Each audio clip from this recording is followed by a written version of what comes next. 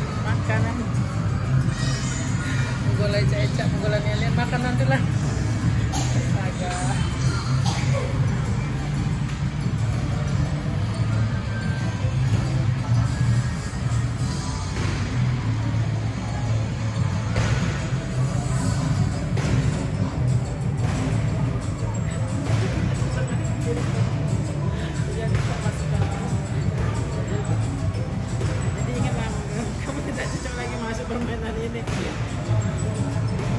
Itu yang cocok itu cak di sangabut ke itu, dah dah dah dah, dah zamannya lagi dia umuran. Iya, kain lah. Betul-betul jatuhnya. Kalau ke sana badan daripada mobil itu. Ginda, itu Baginda.